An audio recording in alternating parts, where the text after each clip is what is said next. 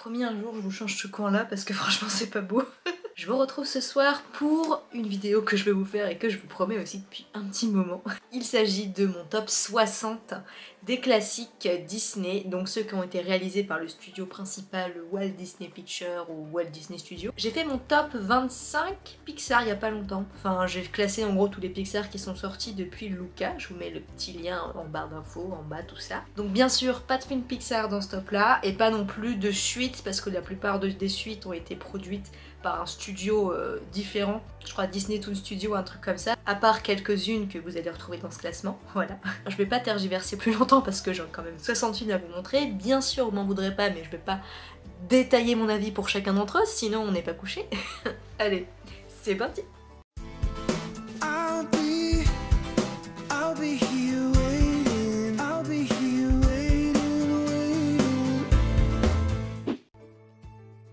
j'enlève ça parce que j'avais juste froid en fait. Et c'est bon. Tourne ma vidéo, ça suffit. en 60ème place, ce que je considère pour ma part comme le pire Disney, c'est La Ferme se rebelle. Je sais que je suis pas la seule à pas l'aimer, donc ça me rassure un petit peu. Il y en a qui considèrent comme un plaisir coupable, et bah c'est tout ce que je peux comprendre tout à fait finalement. Moi j'avoue que, à part une chanson dans le film que j'aime bien, mais le reste j'avais juste envie de me taper dessus. je me suis fait du mal à moi-même en le voyant. En 59ème, je mettrais les trois Caballeros parce que franchement, je l'ai vu une fois, j'ai pas compris le délire. je sais que c'est un film qui a été fait à une époque particulière et qui était un peu sur commande et tout, et bon voilà, je comprends, mais du coup c'est un peu chiant. Pareil pour ma 58ème place, Salut dos amigos, c'est deux films qui vont un peu ensemble il me semble, et bah voilà, les deux j'ai eu un peu le même ressenti. En 57ème, je mettrais Chicken Little, qui m'a un peu malaisé, je saurais pas dire pourquoi, mais j'ai pas vraiment aimé, je saurais plus dire quoi, parce que ça fait un moment, et que mon cerveau a préféré oublier cette expérience. En 56ème place, Coquin de printemps, film avec Mickey que j'ai trouvé sympa mais franchement je sais même pas quoi vous dire dessus parce que aussitôt vu, aussitôt oublié. Pareil pour la boîte à musique en 55ème, c'est sympathique, donc là c'est des petits courts métrages etc. Il y en a qui sont sympas mais je crois que j'en ai vraiment oublié la plupart. Je suis 54ème place, Fantasia 2000. Je trouve que le concept est vachement noble et vachement cool, mais perso, je m'ennuie devant. Il y a quelques tableaux que j'aime bien, mais même ça, enfin, ça suffit pas. Enfin voilà, je suis désolée, mais moi j'ai un peu de mal avec les Fantasia. 53ème place, Tara chaudron magique. Pourtant, a un vrai potentiel derrière, du coup, pour le coup, j'attends vraiment le remake live de celui-là. Si ça corrige les nombreux défauts du film, ça pourrait être tellement bien, parce que franchement, le film, l'intro est super bien, il y a quelques trucs qui sont cool, c'est hyper dark, mais c'est gâché par euh, mauvaise gestion de l'histoire et des personnages en particulier. Enfin bref. En 52ème place, alors là, je vais choquer quelques personnes, je pense, je vais mettre Basile détective privé. Les 30 premières minutes, je suis à fond dedans, et ensuite, j'y arrive plus, je décroche complètement. Quand ça me l'a fait la première fois, je me suis dit bon j'étais pas dans le mood et je faisais autre chose à côté, c'était peut-être à cause de ça. La deuxième fois, je l'ai regardé vraiment en me concentrant dessus, mais ça m'a fait la même chose. Alors que l'idée est bien, c'est bien fait, c'est ça reprend bien Sherlock Holmes, les personnages sont attachants, le méchant est cool, mais je vous jure, je sais pas pourquoi j'arrive pas à accrocher, en plus j'adore Sherlock Holmes de base. 51ème place, Bernard et Bianca au pays des kangourous qui est une suite que j'adorais quand j'étais petite, mais genre vraiment, j'aime toujours un peu cette suite, mais en fait elle est pas aussi incroyable que ça, je trouve l'intrigue assez oubliable. Vraiment, l'intro de ce film, elle m'a beaucoup marqué enfant, elle on arrive à la 50e place avec Ralph 2.0, qui est une suite que j'ai vue qu'une seule fois, qui m'a laissé un goût vraiment mi-figue mi-raisin. J'avais adoré la créativité, les couleurs, les petits clins d'œil, les nombreux nombreux clins d'œil même à Disney, Marvel, tout ça. J'ai pas aimé le traitement entre l'amitié Ralph, Vanellope, montré comme un truc toxique, mais j'ai trouvé que c'était vachement mal amené en fait. En 49ème, je vais mettre le Winnie l'ourson de 2011. Alors honnêtement, j'aurais pu mettre Ralph au-dessus, c'est vrai. L'histoire, c'est tellement du réchauffé de Winnie l'ourson et du déjà vu. Enfin, c'était mignon quoi, mais je retiens vraiment que ça. En 48ème, je mets le premier Fantasia que je préfère quand même largement au Fantasia 2000. Il y a plus de tableaux qui me plaisent, je le trouve quand même vachement plus enchanteur. Il y a le Mickey apprenti sorcier dedans et le tableau avec les centaures qui pour moi sont... C'est vraiment ce que je retiens sur toute Fantasia, voilà, c'est vraiment les deux seuls trucs que j'adore par rapport à cette licence entre guillemets. Au-dessus de Fantasia, je mettrais quand même Melody Cocktail, là aussi des courts-métrages euh, qui racontent des histoires avec pas mal de trucs musicaux. Et j'ai passé vraiment un beau moment en voyant celui-là comparé à la boîte à musique. En 46ème place, je vais mettre le classique Le Livre de la Jungle. Autant je l'adorais enfant, franchement c'est des souvenirs que j'ai avec, euh, que je relis beaucoup à mon grand-père qui, aimait beaucoup ces films. Mais je sais pas, en le revoyant adulte, je trouve que la magie s'enlève un petit peu. je le trouve un petit peu vieillot, mais en même temps aussi bien dans le bon sens que dans le mauvais sens. Si je suis avec quelqu'un qui veut le regarder, tu vois, ça me dérangerait pas, mais moi, le voir de moi-même, franchement, il y a très peu de chances que ça arrive. En 45ème place, je mets le crapaud et le maître d'école que j'ai découvert, je crois, il y a un an ou deux, et franchement, c'est trop bien. J'ai adoré les personnages, ils sont trop, trop chouettes. Les musiques et tout, c'était chouette. Enfin, non, vraiment, j'aime vraiment beaucoup ce film.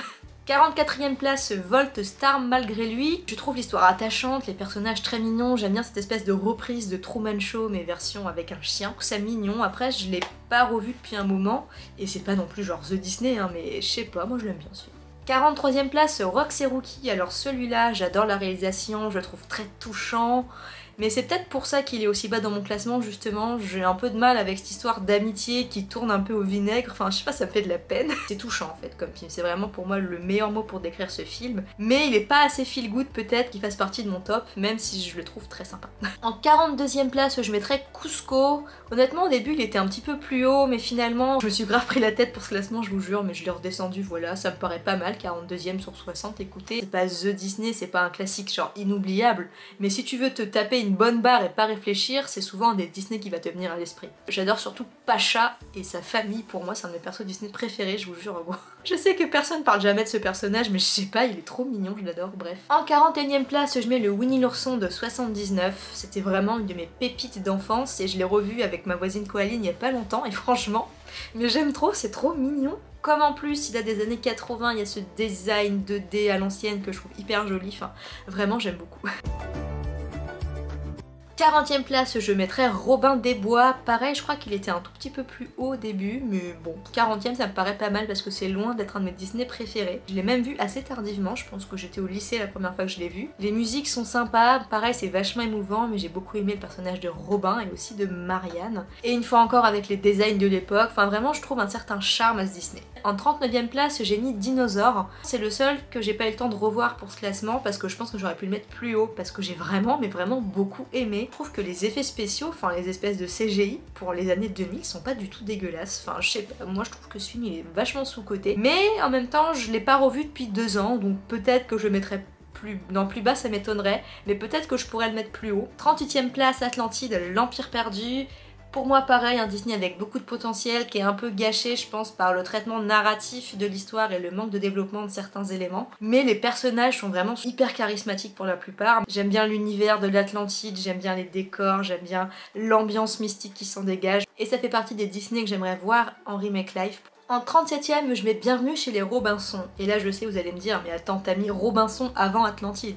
C'est vrai que maintenant que j'y pense... Euh, je sais pas en fait, parce que je trouve qu'au niveau histoire, les Robinson il est quand même mieux développé qu'Atlantide pour ce qu'il veut montrer. La fin est pas forcément attendue, enfin moi la première fois j'ai pas forcément venu venir, ou si j'ai vu venir, je sais plus. Je trouve que ce film il est vraiment bien et vraiment sous-côté, mais c'est vrai qu'il est pas beau. Voilà, on va pas se mentir.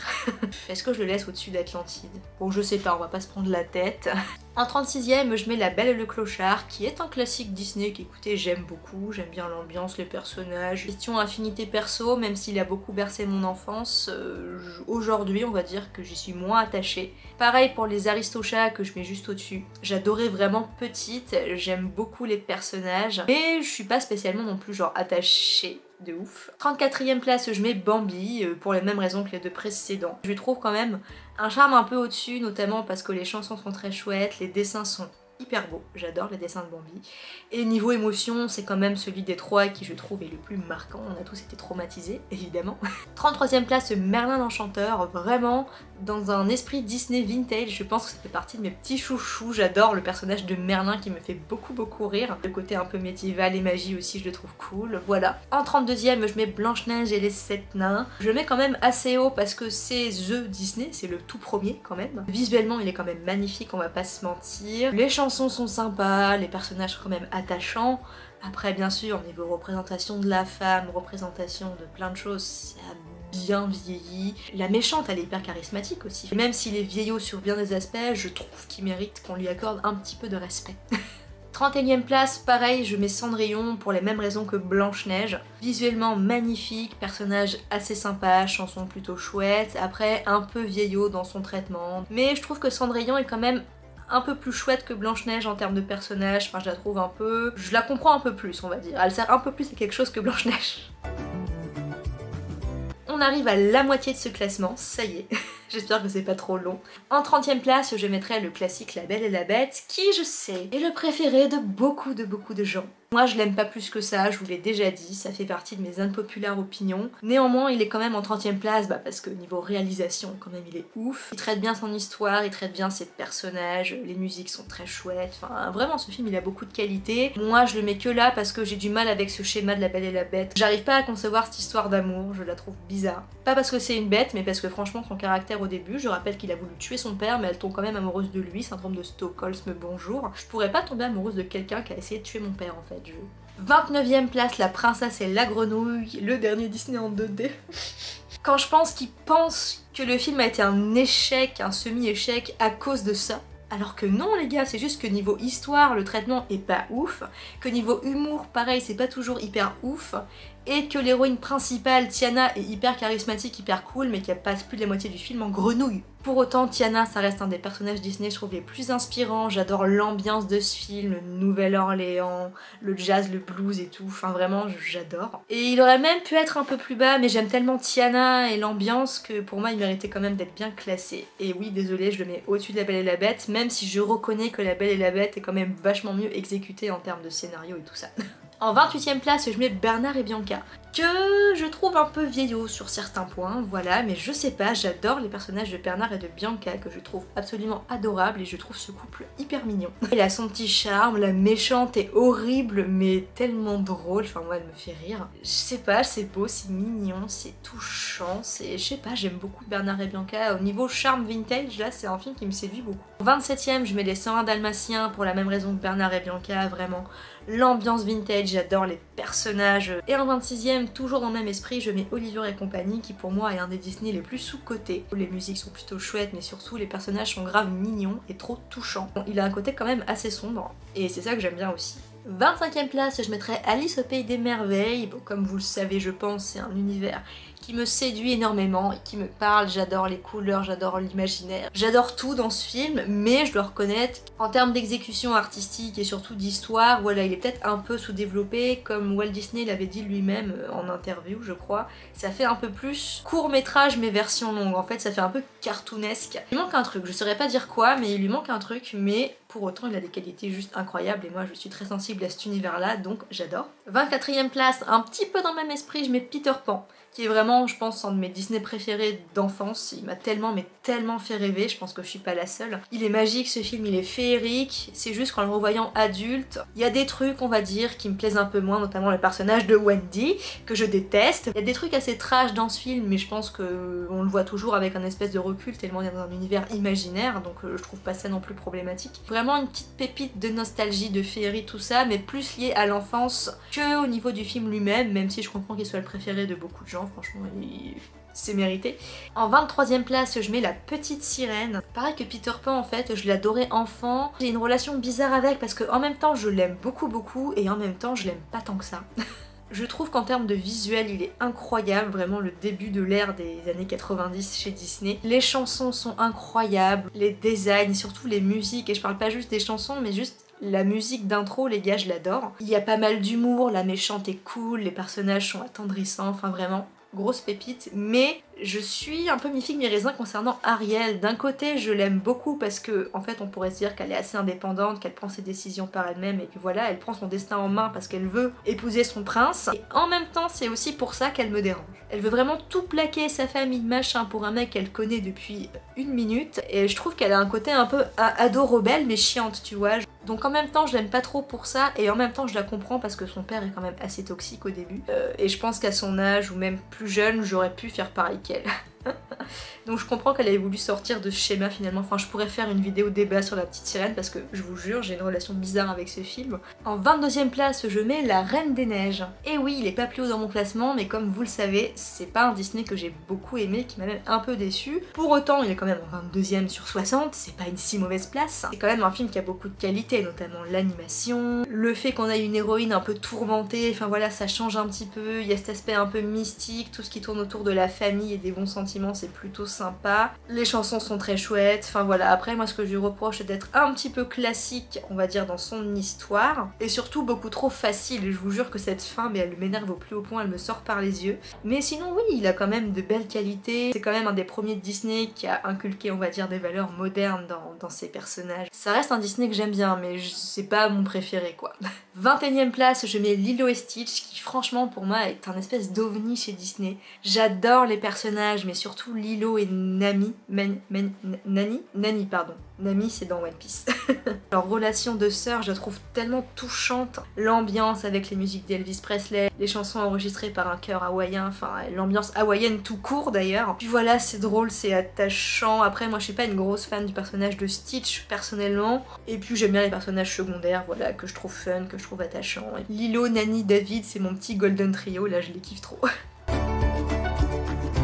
En 20ème place, je mets le Roi Lion. Pareil, je sais que c'est le préféré de beaucoup de gens.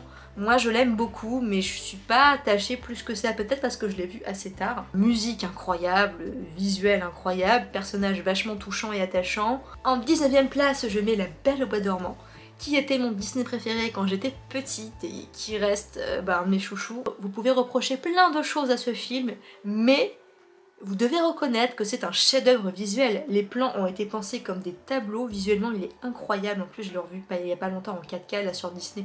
Oh my god Et puis musicalement, enfin, je veux dire, c'est adapté d'un ballet d'un grand compositeur euh, hyper connu et qui a fait des trucs incroyables. Je fais partie des gens qui défendent Aurore. Ok, elle sert pas à grand chose dans son film, mais en même temps, c'est un peu le concept de l'histoire. Et je sais pas, elle a été élevée dans la forêt, isolée pendant 18 ans, pendant 16 ans, pardon, toute seule. Elle avait pas le droit de voir des gens, donc c'est normal qu'elle soit un peu naïve et un peu neuneux, enfin logique quoi. Le peu qu'on la voit, je sais pas, moi je la trouve vachement solaire, vachement douce et touchante. En 18ème place, je mets Aladdin. Il a quelque chose de vachement solaire ce film. Si je veux voir un film de princesse plutôt tendre, pas prise de tête, mais avec quand même beaucoup d'humour, je vais mettre Aladdin tout de suite parce que j'adore le personnage du génie comme beaucoup de gens. Les chansons sont hyper cool. Enfin vraiment ce film pour moi il est fun, il est solaire, il fait du bien. En 17ème, je mets Les Mondes de Ralph, premier du nom. Son petit côté hommage aux jeux vidéo, je trouve vachement bien fait. Les personnages sont drôles, sont attachants, le concept est vachement cool. J'avoue juste qu'en termes d'univers ou goodies, moi c'est pas forcément trucs dans des univers vers lesquels j'irais me tourner, mais en tant que vraiment film, je le trouve hyper bien. En 16ème place, je mets Dembo, qui est un de mes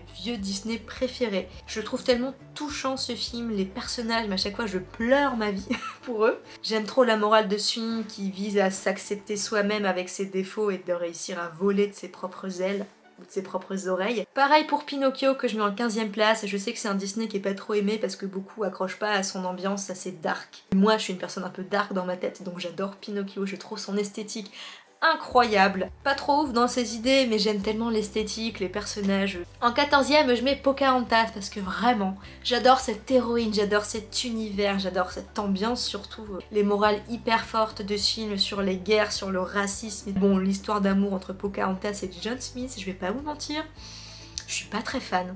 C'est surtout parce que j'aime pas trop John Smith en fait. En vrai, en personnage, à part Grand-Mère Feuillage et Pocahontas, les autres je m'en fous un petit peu. En 13ème place, je mets Raya et le dernier dragon qui pour moi est une parfaite balance entre Mulan et Pocahontas. C'est un film qui est un peu déstabilisant quand tu le vois la première fois parce qu'il est vraiment sombre en fait si tu regardes bien. La narration est déstabilisante, il n'y a pas de chanson dedans et pour un Disney c'est quand même vachement déstabilisant aussi. La morale de ce film est juste incroyable et hyper forte en plus d'être super actuelle. Les personnages, mais j'adore Raya. Sisu, Sisu c'est Dory en dragon en fait. La rivalité romance entre Raya et Namari, yeah, I know, I know, lesbian power. Vraiment, je regrette qu'il soit pas sorti au cinéma, j'espère qu'un jour ils le mettront sur grand écran parce que waouh en deuxième place, je mets Encanto. L'ambiance est incroyable, les personnages sont tous hyper attachants, c'est drôle, c'est dynamique, c'est fun et en même temps c'est super touchant et puis ça parle de, familles toxiques et de reconstruction. Les gens qui disent qu'il n'y a pas double lecture dans ce film, il suffit de voir les personnages de Luisa et d'Isabella, ce qui représentent dans le cercle de la famille, c'est l'ambiance, les chansons qui te restent dans la tête là et qui te donnent envie de te trémousser et de crier. Enfin, non, vraiment, ce film, je l'adore. Et en 11ème place, avant de rentrer dans le top 10, j'ai envie de vous parler du Bossu de Notre-Dame.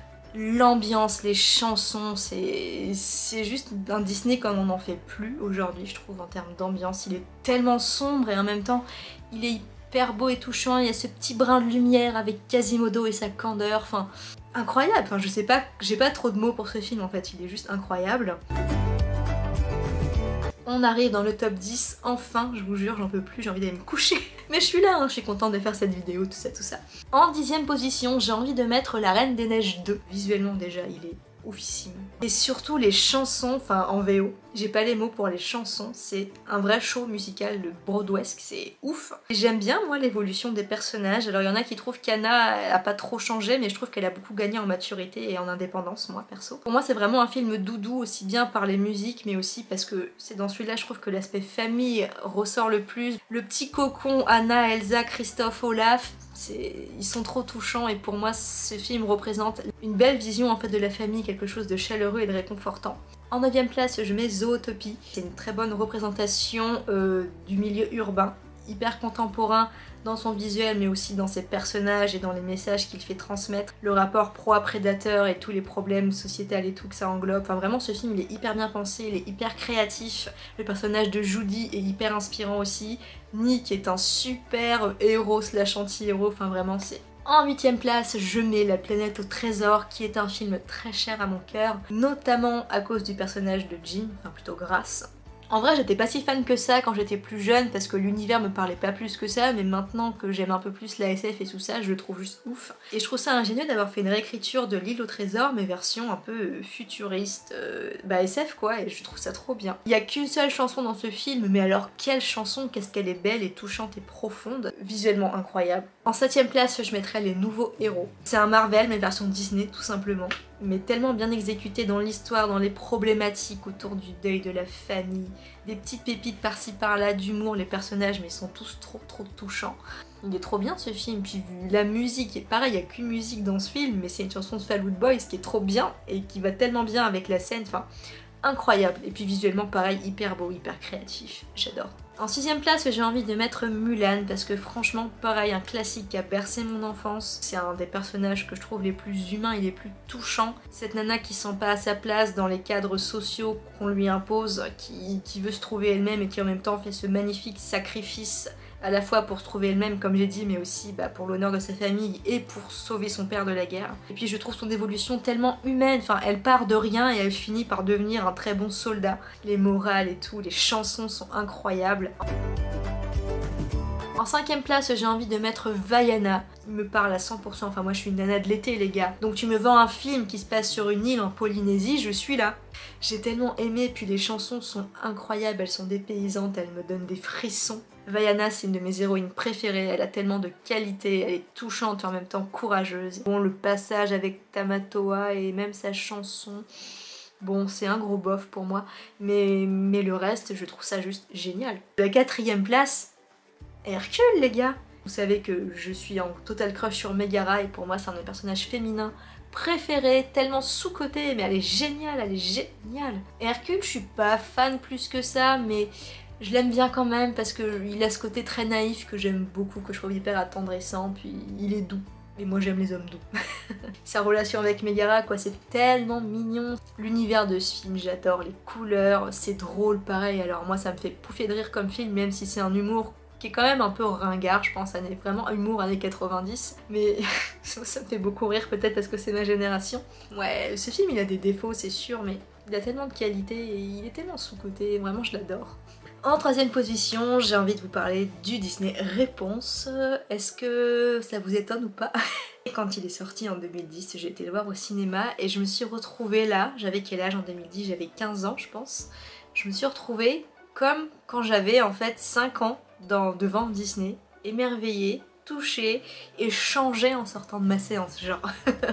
oui, moi c'est Disney qui m'a éduquée, d'accord Réponse, pour moi, c'est vraiment le renouveau euh, du film Disney Princesse euh, moderne et qu'est-ce qu'il était génial et je trouve toujours aussi génial en le voyant. Je trouve qu'en termes d'histoire, d'exécution narrative, tout ça, pour moi c'est un film qui frôle la perfection et le sans faute. C'est un des Disney le mieux abouti et même en termes de personnages parce que Réponse elle avait vraiment l'équilibre parfait entre l'héroïne un peu naïve, un peu un peu gentillette on va dire et en même temps quand même badass et courageuse. moi je croche pas spécialement sur Flynn mais j'adore sa relation avec Réponse qui prend vraiment le temps de se développer et qui commence pas direct comme une évidence et puis je trouve que c'est quand même le personnage Disney, le héros masculin en tout cas Prince, le, clairement le mieux développé de chez Disney pour l'instant. C'est celui qui a la meilleure histoire, qui a un vrai background et qui a vraiment une belle évolution. J'adore toutes les chansons de ce film, de la première à la dernière, je les trouve toutes géniales. Et c'est beau quoi, enfin juste réponse, c'est beau, c'est vivant, c'est touchant, même visuellement c'est magnifique. En deuxième position, je vais vous parler de Frères des ours. Et oui, j'ai pas les mots pour ce film, il est tellement... Pour moi, pour le coup, c'est vraiment le plus sous-côté des Disney, il est tellement magnifique. L'histoire, surtout, est tellement touchante, c'est un peu comme Cusco, d'abord, le personnage principal est vraiment un anti-héros, et euh, il va se développer, quoi, il va devenir... Il va passer d'un gamin un peu relou et un peu con à... Il gagne en sagesse, en maturité, puis surtout, il apprend à aimer, comme son totem de l'ours euh, était censé lui montrer ce chemin-là, et c'est ça qui est beau dans ce film. C'est un film qui parle de l'amour en fait, mais je parle pas de l'amour forcément au sens romantique, mais vraiment sous toutes ses formes. L'aspect culturel je trouve incroyable, les musiques, on n'en parle même pas, Phil Collins c'est le king, mais même juste les musiques non chantées, elles sont magnifiques. Euh, la scène de la transformation, il te fait pleurer c'est clair, il te fait passer un message en faisant passer des trucs difficiles et en même temps c'est un tellement beau film sur l'amour, la famille, le partage et la confiance. D'ailleurs, il n'y a pas si longtemps que ça, j'ai acheté ça à Disneyland Paris. Regardez, je sais pas si je vous l'ai montré. J'adore. Tout ça me mène à mon film Disney préféré, le number one de ma vie. Est-ce que vous avez compris duquel je parlais, sachant que c'est quand même un Disney pas mal connu, que je l'ai pas encore évoqué et que je viens juste de vous parler de Phil Collins. Hmm, Ah oui, Tarzan pourrais vous en parler pendant des heures pour vous expliquer mon amour pour ce film. D'ailleurs, je suis assez étonnée que personne ne l'ait trouvé, à part peut-être une personne sur Twitter, je sais plus. Ce film, c'est la beauté absolue à mes yeux en fait. C'est les messages que ça fait passer sur la famille sur l'amour, c'est pareil, c'est tellement fort, tellement puissant. La construction de soi, puisqu'on suit un gamin qui se fait rejeter par son père, qui le considère pas comme un des membres du clan, et lui, il va tout faire comme un héros de shonen un petit peu pour prouver sa valeur au fil des années. Tarzan, il vraiment, je le trouve trop touchant dans sa quête dans ses aspirations en fait et dans sa découverte qu'il va faire aussi du monde après en rencontrant Jane et d'autres êtres humains. D'ailleurs Jane, mais je l'aime tellement, elle est, elle est tellement rigolote, tellement, tellement fun et puis en même temps bah voilà c'est quelqu'un d'intelligent. Sa relation avec Tarzan, je vous en parle même pas mais elle me, elle me donne des frissons, c'est trop beau. Les chansons de ce film, est-ce que ça vaut le coup que j'en parle? Parce que c'est tellement une évidence en fait qu'elles sont magnifiques et les personnages secondaires, ils sont fun, ils sont attachants, tu rigoles tellement en fait devant ce film, mais en même temps, il te fait aussi pleurer comme je sais pas quoi, et en même temps, il y a un aspect quand même dark, et en même temps aussi un autre aspect sensible et vachement touchant. En fait, ce film, il a tout. C'est juste ça, il a tout. Et je sais pas, il me parle énormément, je le trouve d'une beauté sans nom, j'adore l'ambiance, puis en plus ça reste quand même un film d'aventure, tout en ayant une certaine sensibilité émotionnelle qui me parle, donc moi je pense que c'est l'équilibre parfait d'entre tout ce que j'aime en fait. le personnage de Tarzan, le personnage de Jane, oh, même le père de Jane, je l'adore. Vous pouvez pas comprendre mon amour pour Tarzan, il est il est indicible. Bah bref, voilà, je vous ai fait le tour de mon top 60 Disney, j'espère que ça vous a intéressé et que je vous ai pas trop ennuyé parce que ça fait beaucoup de films là à déblatérer comme ça. N'hésitez pas à me dire vous quels sont vos Disney classiques préférés et est-ce qu'on en a en commun? Je sais bien sûr qu'il y a certains films qui méritent peut-être pas d'être aussi haut. J'aime pas dire objectivement parce que ça existe pas mais vous m'avez compris, mais je joins quand même ma sensibilité, je vous l'ai dit, parce qu'un film c'est pas juste un, un truc, un objet quoi, c'est aussi une œuvre qui est censé te toucher d'une manière éloignée ou proche, et des fois ça peut échouer, des fois ça peut marcher. Mais voilà, je pense que les œuvres préférées d'une personne, ça peut en dire beaucoup sur elle et en même temps non pas tant que ça parce que nos goûts et nos personnalités c'est pas la même chose et puis on peut aimer des choses complètement problématiques plus complètement dark ça veut pas dire qu'on est des gens dark au contraire. Enfin bref je suis en train de changer de sujet les gars. Bref c'était mon top 60 classique Disney c'est tout. Je vous fais plein de gros bisous et puis j'espère que je vous retrouve très bientôt sur cette chaîne pour de prochaines vidéos. Prenez soin de vous bye bye